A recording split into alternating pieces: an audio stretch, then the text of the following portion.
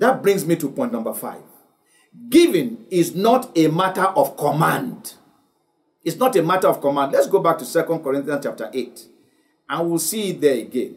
He said in verse 8, he says, I speak not by commandment, but I am testing the sincerity of your love by the diligence of others.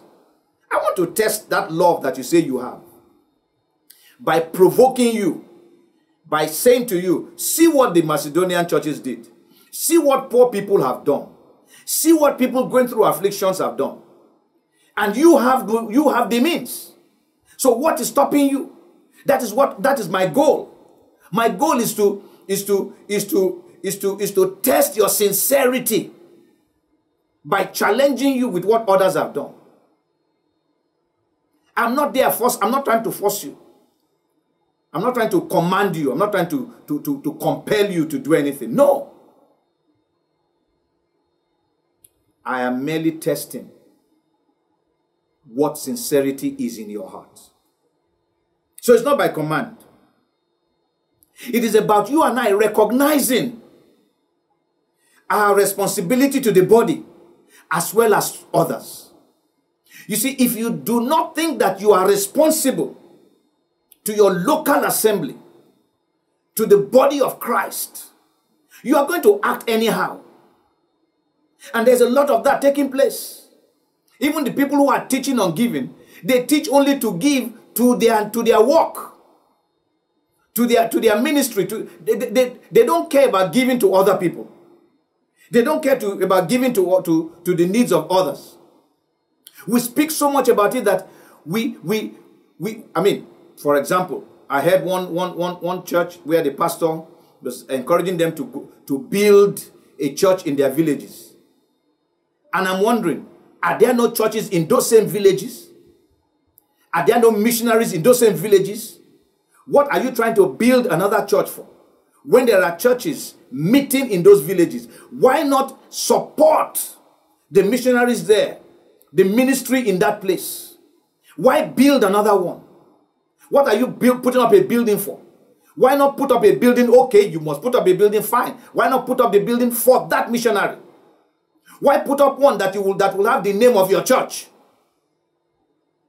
You can tell that has nothing to do with God. It's about man. And if it is God that told them to do it, then it, they are not hearing correct, correctly. Because God will not ask you to go and put up a building where He sent somebody else to, so that you can go and collide with the person. He won't. He would rather be asking you to go and support that person that is there. We need to get our we need to get our bearings right. We must come out of these fleshly, lustful things and get into the spirit of God.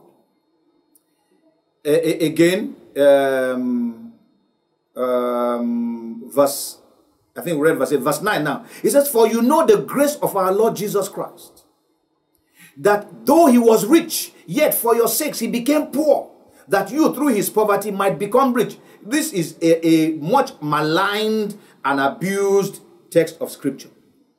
What it is saying here essentially is that when the Lord Jesus Christ came, he emptied himself into us. He gave his life so that we might have life. He gave of himself so that we might have what we could not have. So, in that sense, he became poor. He emptied himself that we might have, we might become rich.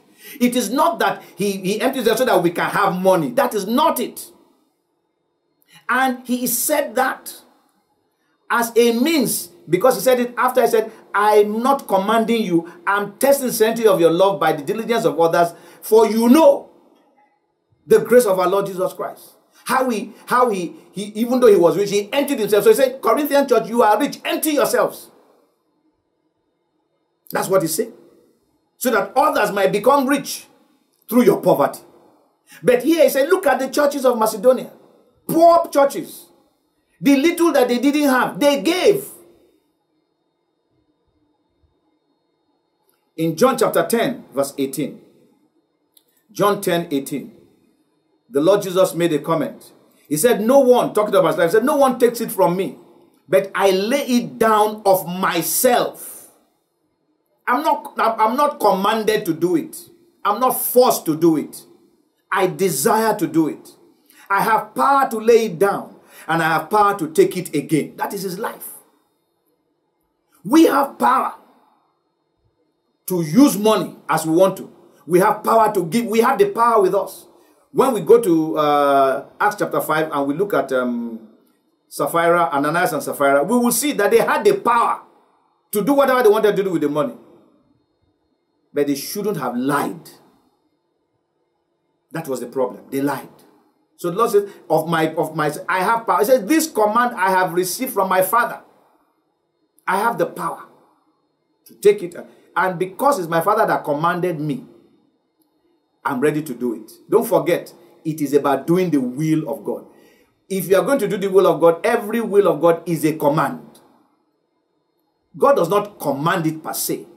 It is, his, it is what he wants. But we do it. And because we, we say we want to do the will of God, we see the will of God as a command.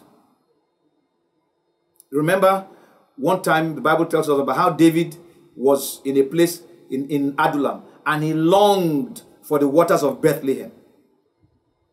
And three of his men broke through the Philistine camp to go and fetch water from a well. They, the whole Philistine garrison had taken over the Bethlehem. But they broke through just to go and get water from a well and come back. Because their commander said, I feel like. David said, wow, these men, they gave their lives for this purpose. That is what is being, that is the kind of thing we we are saying here that giving is not commanded is we see it as an obligation. We want to do it because it is it is something that our, our lord wants us to do. It is something that pleases our lord. It's something that makes him happy. The lord became poor.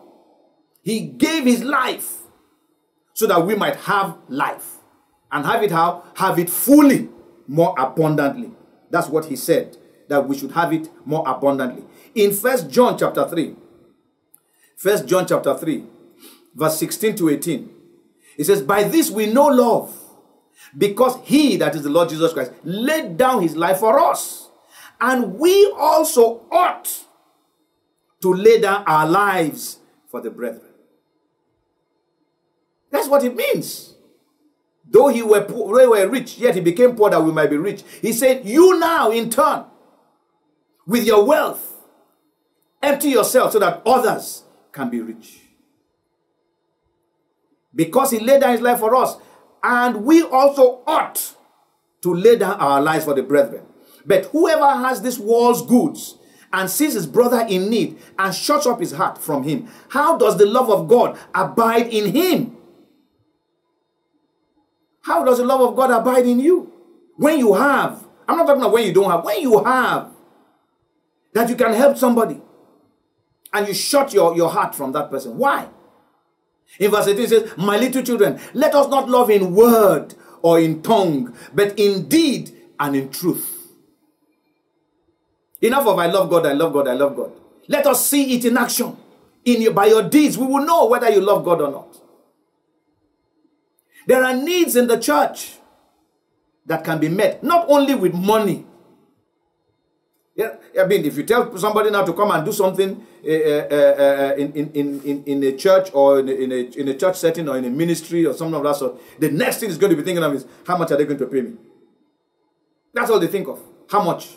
How much will it cost? Uh, how much will you pay? How, that's all we're thinking of. We don't, the, the, the, the, the, the, the time when people did things and left it in the hands of God, those times are over.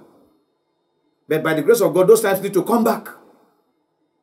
I remember when I went to when I went into to, to full-time ministry in, in one of the churches in those days. I didn't even know that they were that they paid. I just applied. And then they they, they, they, they, sent a letter and said they will pay me. I, I was shocked.